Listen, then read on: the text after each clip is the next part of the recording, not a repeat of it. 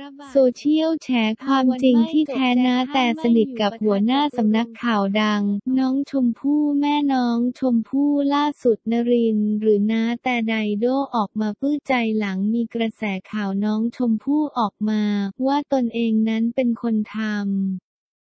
ทำให้ธุรกิจหนูของน้าแต่นั่นย่ำแย่ ขายไม่ได้และเจ๊งจนตอนนี้ครอบครัวแย่แล้วโพสต์ดังกล่าว โดยต้องบอกเลยว่ามีกระแสข่าวที่บอกว่าจับตัวน้าแต่ไม่ได้ เนื่องจากมีคนครอบช่วยเหลืออยู่โดยได้มีเฟซบุ๊กใครหนึ่งได้โพสต์ข้อความพร้อมกับระบุว่า รู้แล้วว่าทำไมคดีไม่คืบหน้าเพิ่งเข้าใจก็วันนี้เองโพสต์ดังกล่าว งานนี้ต้องบอกเลยว่าความจริงจะเป็นอย่างไรนั้นคงต้องรอให้ทางตำรวจออกมาชี้แจงอีกครั้งหนึ่งนั่นเองจ้า เรียบเรียงสยามนิวส์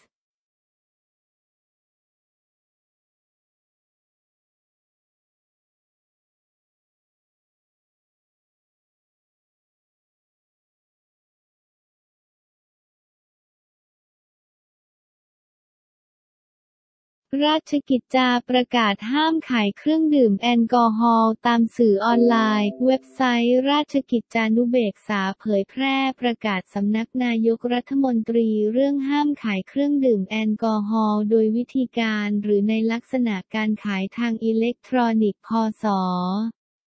2563 ความว่าเนื่องจากในปัจจุบันมีวิวัฒนาการของการใช้เทคโนโลยีที่มีความเปลี่ยนแปลงอยู่ตลอดเวลา ผู้ประกอบการและร้านค้าบางส่วน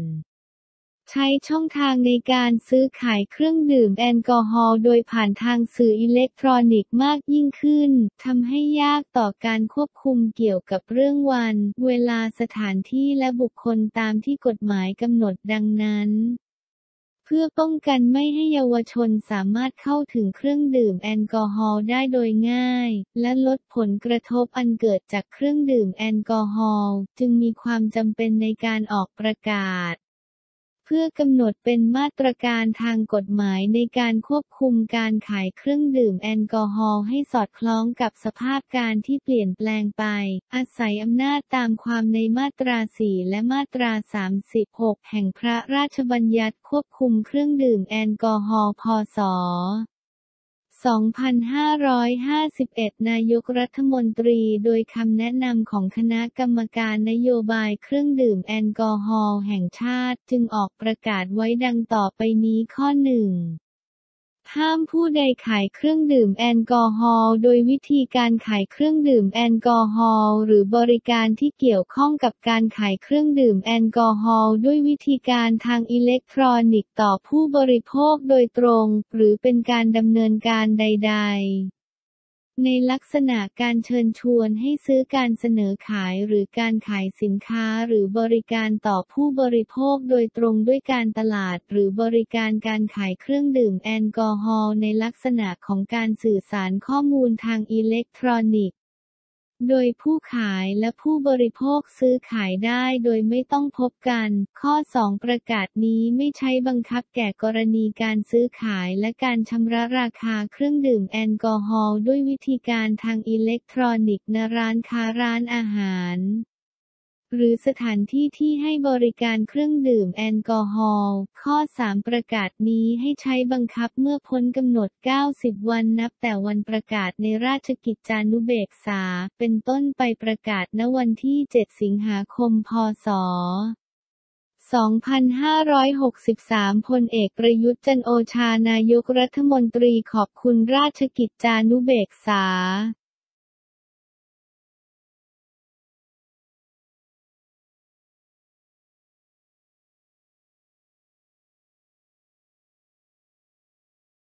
โซเชียลสุดทนจนแฮชแท็กแบนลุงพลติดเทรนช่างภาพช่องดังลาออกไม่ขอทำข่าวนี้อีกแล้ว สืบเนื่องจากคดีการเสียชีวิตของน้องชมพู่ที่แม้จะกินเวลายืดเยื้อยาวนาน ก็ยังไม่สามารถไขปริศนาการเสียชีวิตของเด็กหญิงได้แต่จากการนำเสนอข่าวในหลากหลายแง่มุมของสื่อมวลชนดังหลายสำนักก็ทำให้ชีวิตของลุงพลหรือนายชัยพล วิภาลุงเขยของน้องชมพู่พลิกผันจากการตกเป็นผู้ต้องสงสัยฆ่าหลานตัวเอง กลายมาเป็นคนดังแห่งบ้านกกอก ได้รับความสนใจจากสังคมนำไปสู่การมีผู้ติดตามในโลกออนไลน์ การจ้างงานเป็นพรีเซนเตอร์ต่างๆ จนกระทั่งสังคมเริ่มตั้งคำถามถึงจรรยาบรรณในการนำเสนอข่าวที่ดูจะห่างไกลจากข้อเท็จจริงออกไปทุกทีและทำให้ความสนใจของคนในสังคมเบี่ยงเบนไปจากเรื่องการตายของน้องชมพู่ จนกลายมาเป็นการตามติดชีวิตของลุงพลไปจนถึงป้าแตนผู้เป็นภรรยาไปเสียแล้วล่าสุดวันนี้ 9 กันยายนในโลกออนไลน์ก็ได้มีการติดแฮชแท็กแฮชแท็กแบนลุงพลกระหึ่มโซเชียล หลังเรื่องราวของลุงพลถูกนำเสนอในสื่อต่างอย่างมากเกินพอดี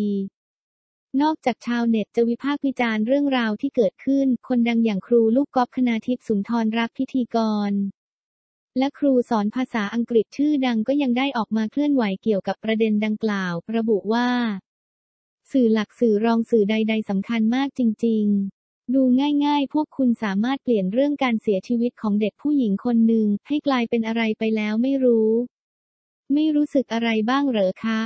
ไม่มีใครในองค์กรเตือนกันบ้างหรืออาใจสักหน่อย ส่วนพวกเราคงทำได้ไม่ต้องแชร์ข่าวพวกนั้นต่อ นอกจากนี้ยังมีผู้ใช้เฟซบุ๊กชื่อซองพร รูอองสมุทรซึ่งเป็นหัวหน้าช่างภาพของสำนักข่าวโทรทัศน์ช่องดังสำนักหนึ่ง ได้ออกมาโพสต์ข้อความระบุว่า ตนทนไม่ไหวกับเรื่องราวที่เกิดขึ้นจนต้องขอลาออกจากงานเพราะไม่อยากเป็นส่วนหนึ่งในการผลิตเรื่องราวเหล่านี้อีกต่อไป ข้อความระบุว่า ขอโทษกับความเน่าเฟะกรณีลุงพลป้าแตนและบ้านกกอกจากน้ำมือของสื่อมวลชนอย่างพวกเรา ที่หยิบยื่นให้กับสังคมตลอดสี่เดือนที่ผ่านมา ผมทำหน้าที่เป็นหัวหน้าช่างภาพข่าวของหนึ่งในสถานีโทรทัศน์ที่นำเสนอข่าวนี้มาโดยตลอด ผมทำงานที่นี่มาหกปีตั้งแต่วันแรกของการออกอากาศ จนวันนี้ไม่สามารถอดทนกับเรื่องที่เกิดขึ้นและได้ตัดสินใจเดินออกมาแล้ว จากคดีการเสียชีวิตของน้องชมพู่ที่ถูกนำเสนอโดยสื่อมวลชนกลุ่มหนึ่งและผมคือหนึ่งในนั้น ที่มีส่วนทำให้คดีความหนึ่งคดีกลายเป็นเรียลลิตี้ชีวิตของลุงพลป้าแตนเรียลลิตี้ความแตกแยกของครอบครัวครอบครัวหนึ่ง ชีวิตคนในหมู่บ้านกกอกเรื่องไสยศาสตร์ความงมงาย และการมอมเมา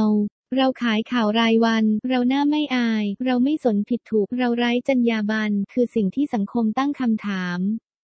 และมันถูกต้องทั้งหมดเรานำเสนอเรื่องราวที่ห่างไกลจากสิ่งที่ควรจะเป็นจนกูไม่กลับ หาประโยชน์และปล่อยให้กลุ่มคนที่ต้องการผลประโยชน์จากเรื่องนี้เข้ามารุมถึงเราอยากได้กระแส และต้องการเพียงแค่ยอดคนดูยอดกดไลค์ยอดแชร์ บางคนแก้ต่างว่าสิ่งที่เกิดขึ้น สื่ออย่างพวกผมทำไปเพื่อตอบสนองความกระหายใคร่รู้ของคนในสังคม หรือช่วยเหลือให้ชาวบ้านสองคนได้มีชีวิตที่ดีขึ้นมันไม่ใช่แค่สิ่งนั้นแน่นอน มันคือผลประโยชน์ทั้งนั้น ยอมรับกันสักทีเถอะว่า เราคือตัวแปรสำคัญและเป็นจุดเริ่มต้นที่ทำให้เกิดความบิดเบี้ยวทั้งหมดนี้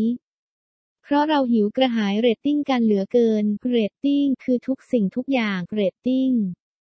คือปัจจัยที่จะบอกได้ว่าคุณอยู่หรือไปและเรตติ้งก็กลายเป็นข้ออ้างที่ทำให้คนบางกลุ่มยอมทำทุกอย่าง เพื่อให้ได้มา ผมเป็นหนึ่งคนที่รับรู้เรื่องราวที่ถูกสร้างปั้นแต่งและถูกนำเสนอผ่านหน้าจอมาโดยตลอด และตั้งคำถามกับตัวเองเสมอว่า พวกเราทำอะไรกันอยู่ มันไม่ใช่ปรากฏการณ์ไม่ใช่ความแปลกใหม่ไม่ใช่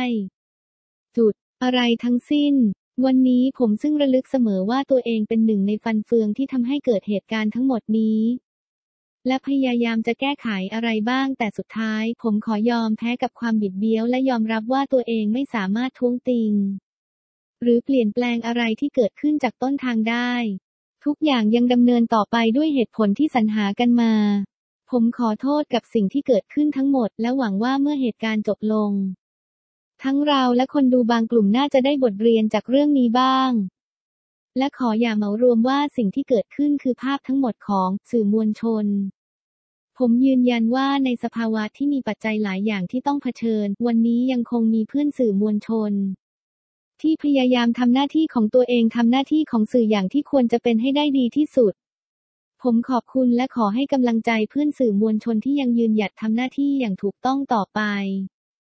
ทรงพลเรืองสมุด9กันยายน 63 หลังการประชุมที่ไม่มีอะไรเปลี่ยนแปลง